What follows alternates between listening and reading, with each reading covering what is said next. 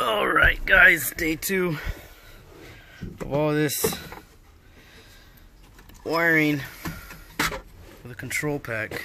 So, so far, took this off just to get in there. See some of that wiring harness right there. Found some space.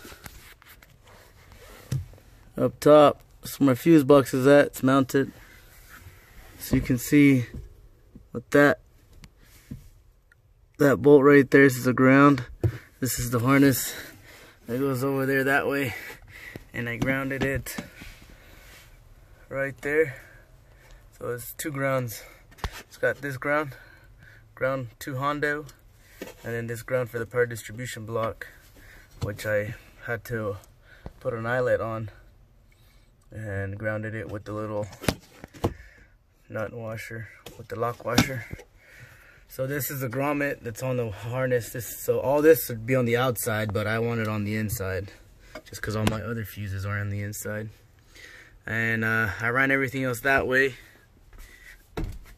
Oh man. So runs through here. And that is, let's see if I can, sorry for the hard breathing, I don't care. I'm busting my ass. So this is the tricky part right here for most people getting scared for wiring. It's not that hard. This is the connector. This one right here. That has all the signals to the PCM. Alright, so I'm going to go one by one. Alright, so this red one says HAT B. Hot at all times. B. So you have A is for the PCM and then B. So it's A and B. It's two part hot at all times. So the PCM always has power and then the ignition always has power. So this one has power to it no matter what. See that? Don't matter where the key is to the ignition.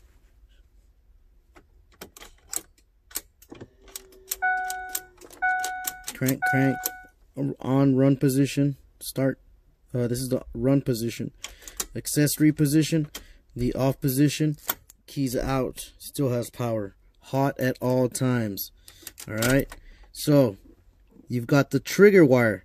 This trigger wire will only start you see right there it's it's it's not on. It'll only turn on when the key is in the on position in the run and run uh, in the run and start position. So here and then on the start See? Still on. Right there, that's the run position.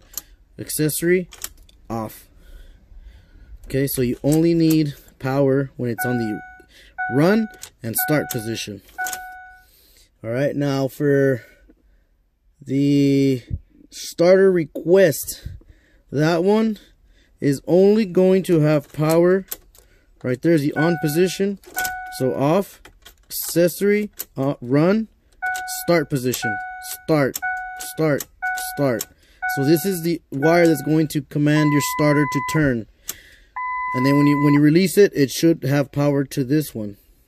To this one, which is the run position. So this one will stay on. But as soon as you cut it off, it'll shut your engine off. That's what that wire is for. So if your engine ain't shutting off for some reason, then obviously you didn't wire it right. I'm going to show you the colors I have here. This is for an 04 through 08 F-150. So for the hot at all times, that one is a green with purple stripe. The trigger is a blue with light green stripe. And the starter request is a red with a light blue stripe. That's it. This one I spliced onto but this power at all times. But I wanted a bigger wire. Um, so it's just three wires. That's it three wires. Um, if you leave all the body control modules and all that stuff, uh, I don't need the fuel pump. Uh, that starts uh, with the existing harness in the truck, and then the ground is for whatever reason. I'll see if I need it. If I don't, well, then I'll leave it alone. But I got to tape these ends up. I got to clean that up because that looks like complete shit. Um, this is just so that I could show you guys how to do this. So I did it here and I did it over there. It here as well. So I did all here. So it's just checking, make sure everything was working. Um, there's a couple more things that I gotta show you guys. Obviously, you won't be able to see it through here. Well, maybe you will. See that daylight? Bam! That's where I had to cut it to get the rest of the uh, harness out past the firewall. Been a hard day. So there's existing grommet, existing harness. You cut below it. You cut below it. Oh, I didn't cut it. I, I die grind. I used a die grinder, which is this baby right here. That's all it is. Die grind the crap out of it and you'll be able to fit the connector. This is the bitch right here. This is the pain in the ass. But you can get it through. I got it through with minimal invasive methods.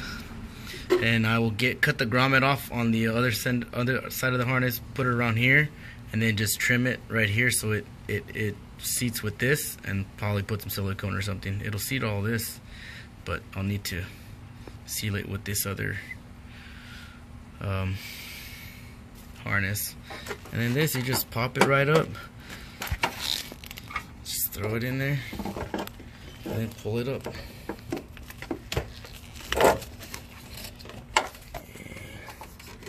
bear with me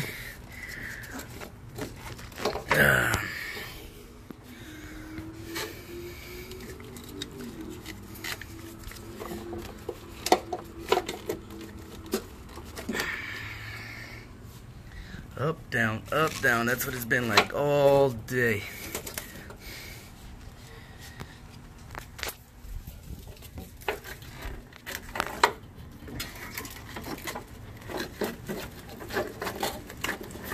Just cram it all in there. Get out of here. Go.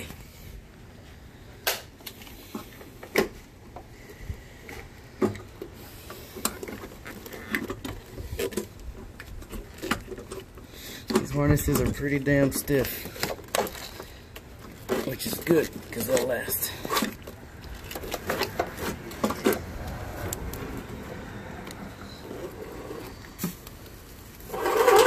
This is huge. It's, oh, it's meant for the alternator. Obviously the alternator goes on the driver's side. But not in my case, and not in swaps. Just show all that in there.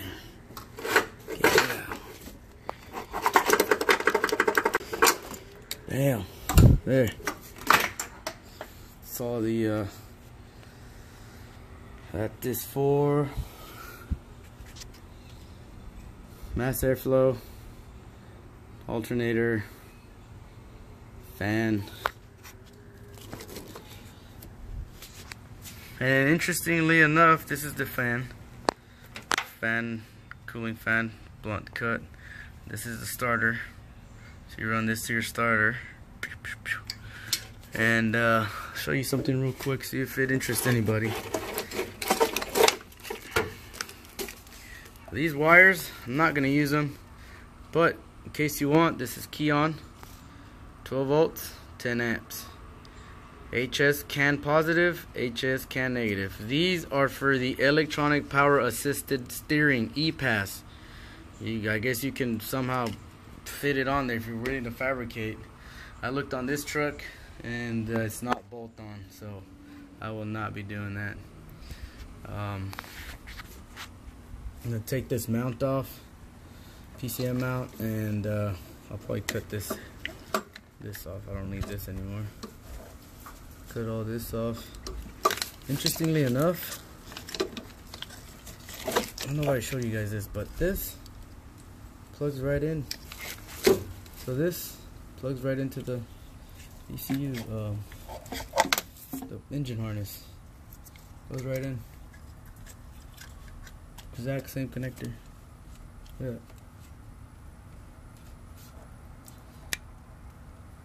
The wires are similar in color, but not really. You see purple with white stripe. This one's all purple. This one's red with a light blue stripe. This is a light blue wire with no stripe. So it's probably the uh, fuel pump. Oh, what this is. I mean, if you actually look at your uh, other connector inside, you should be able to tell what, what wires what. Uh, as far as I've gotten today, fellas. And ladies, I don't know who watches this. I was gonna drill right here, or cut it open right here, but I found it that it was easier right there. I didn't want to route it and then back up and then over. So it's just the antenna. Shove this back in there somehow.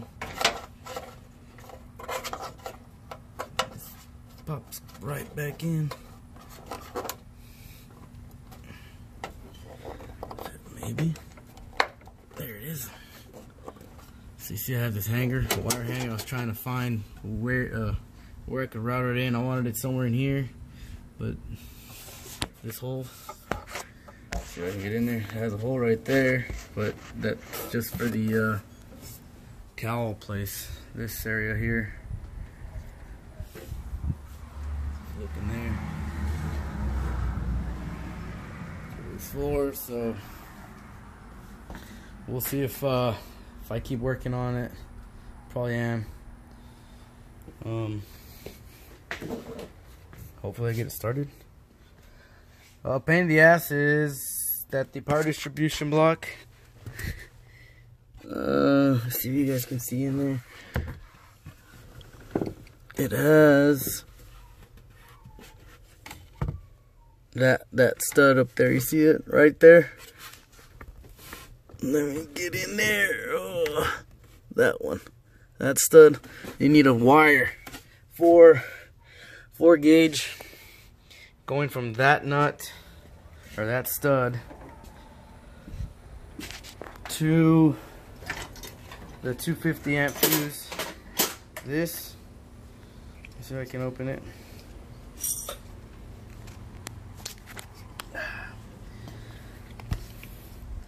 To that fuse, 250 amp, and then from that fuse to the battery, positive. And then going to the positive, and then after the positive, you should have power to your power distribution block and then you make sure all your negative connections are plugged in. Once that's plugged in you should be able to start. It should start. In theory it should start. I don't know how dead this battery is. I, swapped it out with the dually one but I've been cranking on it a few times so I'll put the charger on it and see what happens. So maybe there'll be a startup video maybe not. We'll see